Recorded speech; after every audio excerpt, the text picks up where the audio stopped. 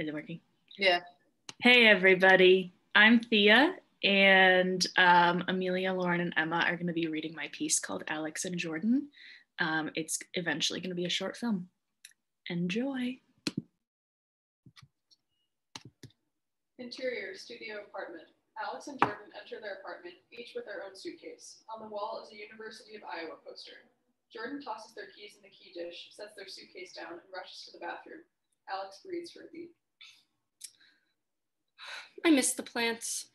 Alex begins watering the plants. They have the following conversation from either side of the closed bathroom door. Do the plants need water? I got it. You sure? Yeah. You sure? I heard you. Why would I not be sure? What? How about we wait to have this conversation until you're done? I have no idea what you said. Oh my God. The plants have been watered. I got it. It's done. Jeez, sorry. Positive thoughts, babe. I can't hear you. My apologies. It's fine. Sorry. My nerves are fried. What's Friday? Nope. Friday. I not Friday. You know what? Never mind. Hang on, I'm almost done. Alex puts the can away, looks at Jordan's suitcase, and unpacks as the toilet flushes, and the sink turns on and off. Jordan exits the bathroom, removes their shoes and coat, grabs a bag of chips from the cupboard, and sits on the bed with a laptop. Mm, suitcase? I'll get it. Just taking a quick peek at the news. Alex sighs. Jordan looks up, notices that Alex is annoyed, and shakes the bag of chips invitingly. You want a chip? I really don't. Oh, you really don't? Okay. Jordan crunches loudly for several seconds. Alex finally gives in. God, you are an aggravating person. Jordan laughs and holds out the bag to Alex. And yet somehow your aggravation has softened to fondness once again. Jordan leans in to kiss Alex on the cheek. Guess I was really hungry. Right, that must be it. Alex laughs and goes back to unpacking their suitcase. Jordan shuts their computer and stretches deeply before standing to put the chips away. When they open the cupboard door, it falls off of its bottom hinge. Oh? Alex looks up. What? Can you grab the toolbox for me? Yeah, sure. Alex does so and goes back to their suitcase. Actually, could you grab the step stool too, please? Alex sighs but grabs the stool and sets it up. Jordan kisses them on the cheek and begins to work. Alex looks at the forgotten suitcase. After a beat, Are there things you need in there? What? Your suitcase, are there not items you will soon require in it? I mean, yeah. So, did you plan on unpacking it at any point? Well, sure, but I'm gonna fix this first. Sure, sure. Jordan grabs a vacuum cleaner. Oh boy. Jordan takes items out of the cupboard. Alex waits for something. An explanation, perhaps, when none is forthcoming. What you doing? Figured I may as well clean it out while I'm up here. It's not the best time for that. Why wouldn't it be? Well, for one thing, it's like 1 a.m. and I'm not trying to I'm not trying to piss off our neighbors on our first night back. You mean the people of a literal rave every Wednesday? Yeah, I'm not too worried about it. Jordan turns on the vacuum and attacks the shelves at the most awkward angle imaginable. After several beats of futile vacuuming, Okay, but like, can you wait? Jordan turns off the vacuum. What? People are sleeping, babe. Great, noted. Jordan turns on the vacuum. I'd really love if we waited. Jordan turns off the vacuum. What? I should have clarified by people, I meant that I will soon be sleeping. Jordan sets the vacuum down forcefully. Well, excuse the hell out of me for not wanting to sleep in a pigsty. Okay, wow. One faulty cabinet door n- eh, does not make a pigsty. But what about all the rest of this stuff? The counter is overrun with canned goods. Yeah, and whose fault is that? What are you saying, babe? I'm not trying to say anything, babe. It just seems like you made this a bigger problem than it needed to be. Well, sometimes you need to make a bigger mess of things before you can attack the root of the problem. Sensing Jordan is getting worked up, Alex moves towards him. They need to get messy, huh?